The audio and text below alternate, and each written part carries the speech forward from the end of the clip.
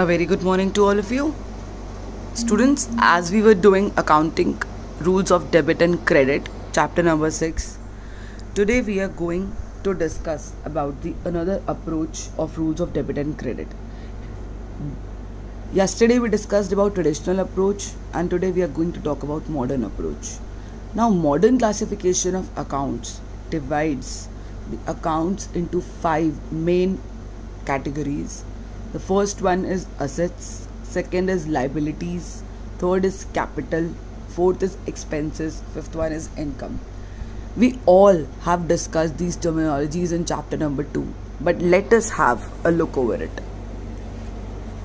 Assets. Assets are the properties, possessions, or economic resources of a business.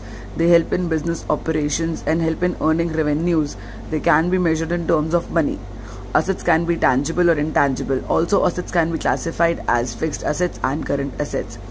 Fixed assets are held for the long term. They help in carrying out the normal operations of the business, for example, land, building, furniture, machinery, vehicles, etc. Current assets are held for short term. They are realizable within a year, usually, for example, debtors, bills receivable, bank balance, cash, stock, etc.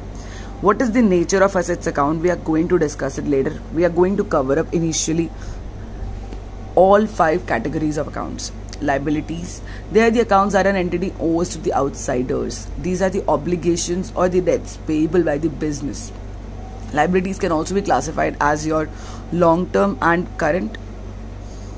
Long term liabilities are payable after the period of one year, for example, debentures, bank loans, etc.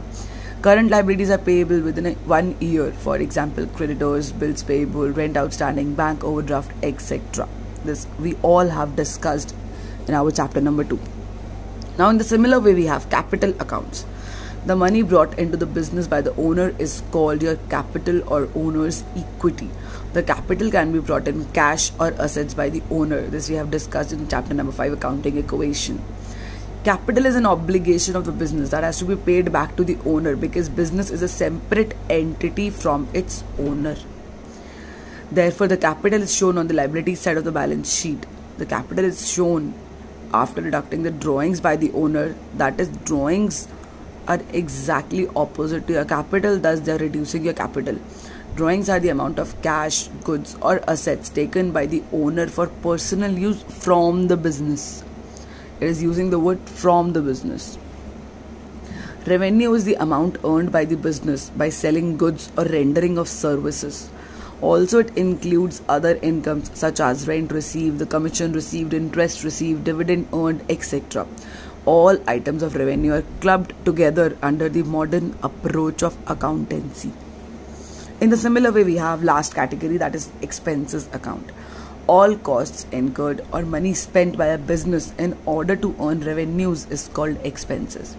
It is noteworthy that here, when the benefits of the money spent are exhausted within a period of one year, it is called an expense. While in case the benefit lasts for more than a year, it is called expenditure. That is why expenses and revenue expenditure are even considered as same. Reason being expenditure is divided into two categories. That is one is capital, another is revenue all the items of revenue expenditure they are also for the period of one year thus they can even be categorized into as an expense. Therefore the purchase of assets is expenditure while the cost of goods sold is an expense. For example rent paid salary paid electricity charges interest paid etc are all expenses. While the purchase of assets purchase of short term investments etc fall under the category of expenditure. Students when we are going to do this question when question asks about expenses you have to consider only the benefits of the money spent or exhausted within a period of one year. You're not going to consider expenditure. All right? Moving on.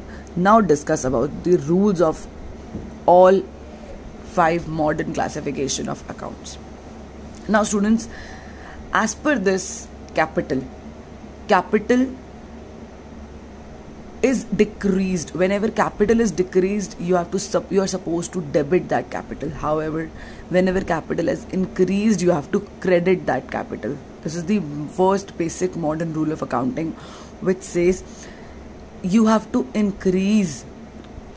As soon as the capital is increased you have to credit it and as soon as it is decreased you have to debit it this rule is applicable to all owners transactions like capital introduced drawings. Whenever capital is being introduced you are going to credit that capital. Because capital introduced means capital has been increased. So capital will be credited. However when the word is mentioning drawings it will be automatically reducing your capital. Thus your capital will be decreased. This means drawings has a debit nature and capital has a credit nature thus they both are opposite to each other. Capital has a credit nature drawings are debit nature. I'm repeating myself again. Now moving on to assets. Assets assets whenever they are increasing you're supposed to debit it. Since we all know assets is always equal to liabilities plus capital. Since capital is recorded on the right hand side of the accounting equation. However your assets are recorded on the left hand side. This means they all they both will be sharing some different nature. That is why if capital increase is credited in the similar way assets increase is debited. However if there is a decrease in asset you are supposed to credit it. For example you purchase a machinery. Whenever you're going to purchase a machinery machinery account has been increased this means machinery will be debited. However if you have purchased in cash cash is going to be decreased. You are going to decrease your cash. This means you're going to credit your cash. So machinery will be debited and cash will be credited over here.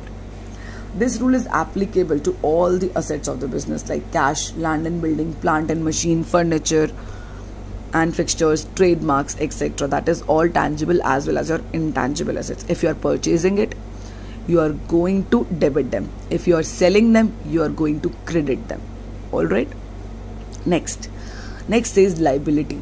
Liability and capital, they both share similar kind of nature. This rule is applicable to all the liabilities of the business. Whenever liability is increased, you are going to credit that liability. However, if liability is decreased, you are going to debit that liability. Alright? Like bank loan, mortgage loan, creditors, short term loans, etc if you have purchased goods on credit your creditors have been increased. This means your creditors will be credited. You are going to credit your creditors. For example you purchased goods from ram. Now that you are going to credit ram's account. However you have purchased goods. That belongs to the assets category now since stock has increased so you're going to debit stock. This means stock debit and your ram account will be credited. Okay? Moving on to expense. This rule is applicable to all the expenses of the business which has been or which have been incurred in this particular period of year. Expenses share the same nature as your assets have reason being your expenses always reduces your capital. That is why they are going to have an opposite nature with your capital. Thus expenses are going to if they are going to be increased you are going to debit them. If you if they are going to be decreased you are going to credit them. So as far as this is concerned if you are remembering only about capital that you have to increase the capital increase capital means credit capital decrease capital means debit that capital. You're going to remember them all. Whatever is being added to the capital it will be increased in a capital. This means that item will be credited. However if there is a decrease any reduction from the capital will bring about a debit nature to that particular item. In the similar way for example we have salary paid. Now what is going to happen? You are paying off salary. This means your salary whatever was there you have paid the expenses. This means your uh, increase in expenses. It means salary is going to be increased. However you have paid in cash. That salary has been paid in cash. This means one asset is being affected. That is your cash now cash is going to be decreased you're going to credit that asset that is cash next is your income for this income we have the similar rule as we have for the capital. If it is a increase in income, you're going to credit it. If it is decrease in income, you're going to debit it. This rule is applicable to all the incomes of business. For example, sales. If you have sold your goods, if you have sold your goods in cash, let's say, cash is also increased and sales is also increased. But cash is an asset. This means cash will be debited. However, sales increase will be credited. So cash debit, sales credit. Basically, we mean to say for any transaction, we are having two effects. So one will be debited and the another will be credited for sure. Alright, moving on to the next. Let us discuss this question. Anuj started business with cash rupees 1 lakh. Since we all know, as per accounting equation, which two accounts will be affected cash and capital. Now, cash, nature of account for cash is an asset. Since cash is increasing, this means cash is debited. As you can see in front of the debit column, it has been written increased. However, capital increased. When capital is increased, it is credited. So, capital increased in front of credit, it has been written. Deposited cash into bank rupees 50,000 for opening an account.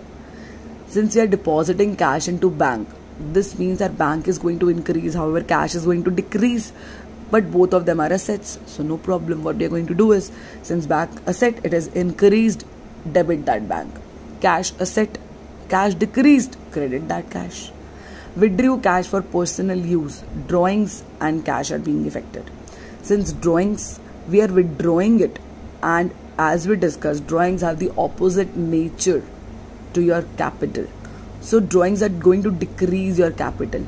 So capital is being decreased, it is supposed to be debited. However, cash, cash is also being decreased over here, and whenever cash is being decreased, it is your credited. Cash increased is debited, cash decreased is your credited. In the similar way, we have withdrew cash from bank for office use. Now, students, when the word was mentioning about personal use, it was your drawing. However here here you are withdrawing cash from bank for your office use only. This means here no drawings are affected here your two accounts are affected that is your one is your cash another one is your bank. Cash again asset your your cash will be increased debit that cash bank asset bank decreased credit that bank. In the similar way let us discuss about illustration number illustration number 6 part number 7 it is saying paid to a creditor Mahesh by check rupees 10000 now Mahesh is a creditor. Since you are paying your liability your liability will be decreasing. This means liability decrease will be debited. In the similar way you are paying by check also cash bank gone this means again bank asset decreased it will be your credited. Paid salaries to staff, paid rent by check whatsoever. Any expense, since you are paying it, expense is being increased. Expense increased is debited and cash decreased is credited. Alright.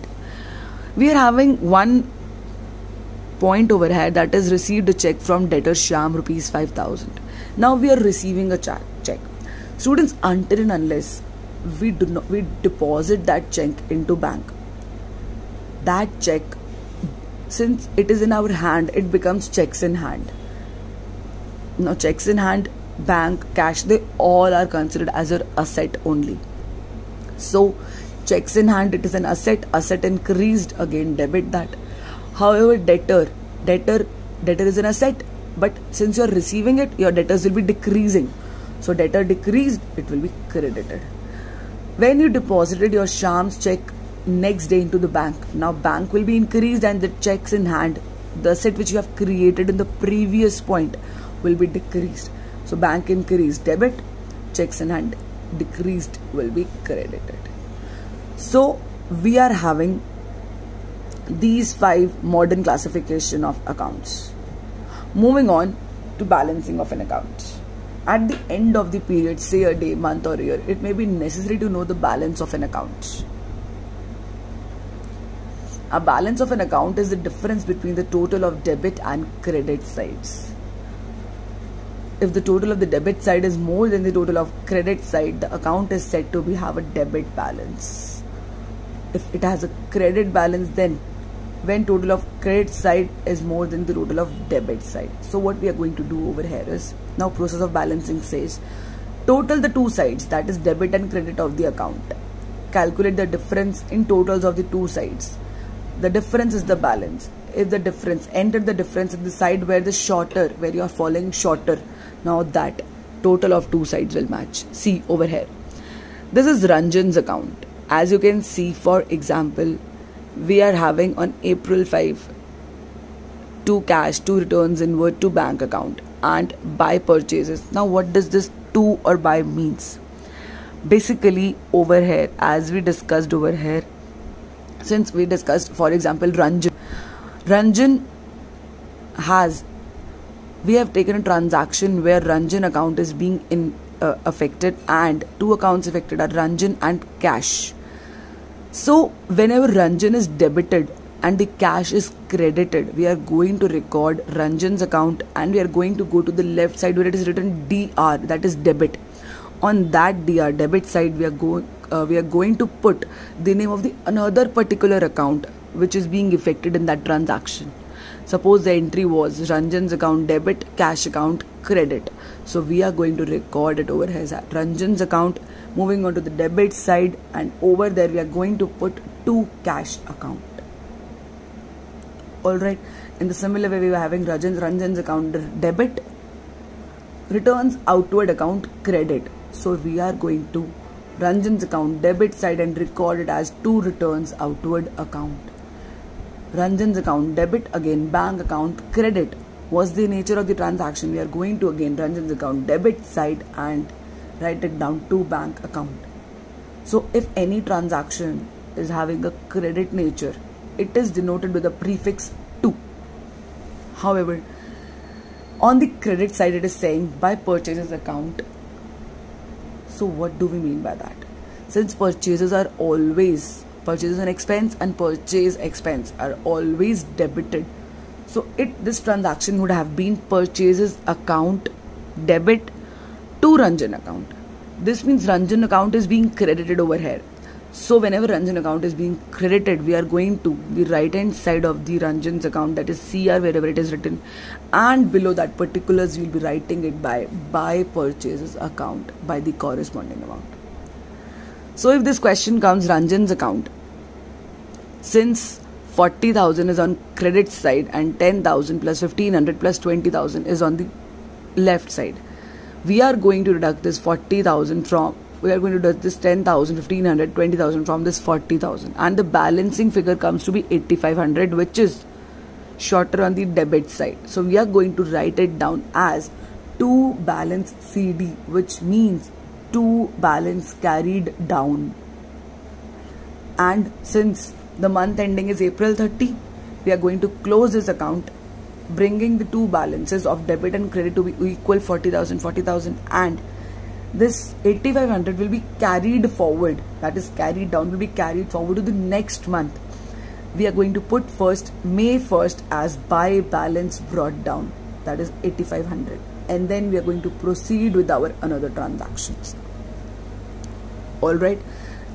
As you can see over here the account shows that the firm has a liability towards Ranjan for 8500 which means this balance indicates. If this balance remains as it is till the end of the year that is 31st March this will be shown as Ranjan's liability 8500 in our balance sheet. Now significance of debit and credit balance in accounts. Credit balance in the capital account means the amount due to the owner of the business. In other words the amount invested by in the business by the owner credit balance in bank loan account suppliers account etc means amount payable by the business that is liabilities of the business. Debit balance in cash account bank account debtors account means cash in hand cash at bank and amount receivable against sale respectively. Credit balance in discount received interest received that is basically all your income earned. Debit balance in discount allowed salary account rent account basically all expenses So we can briefly say that a debit balance is either an asset or an expense. As we discussed, your asset and expenses share this similar kind of nature. And a credit balance shows the income earned or the liability or the amount invested by the proprietor. So liabilities, capital, and your income share this similar kind of nature. Now we are going to discuss about T-shaped account what do we mean by this T-shaped account? See uh, over here a question says open a T-shaped account for furniture and write the following transactions on the proper site. Since it is furniture account and whenever we are going to purchase our furniture, our asset being increased, it will be recorded on the debit side. However, if our furniture, that is our asset being decreased, it will be recorded on the credit side. As you can see, debit credit and we have recorded increase in the debit and decrease in the credit. So furniture purchased furniture purchased and since nothing is mentioned we are presuming in cash.